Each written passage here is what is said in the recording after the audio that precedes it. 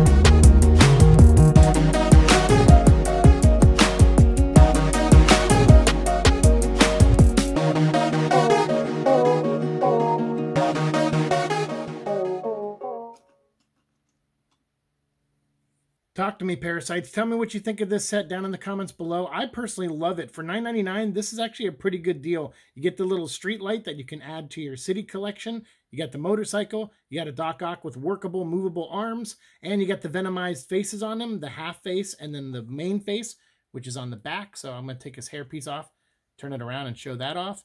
He looks really cool, man. And uh, although it's not his traditional bowl haircut, which I would have liked to have in this one. It is a different version based on a different cartoon and a different design of Doc Ock, obviously, but I kind of miss him with the bowl cut. That's my only minor criticism, but I have one of those bowl cut haircuts around here somewhere on another fig, so maybe I'll add it on to him.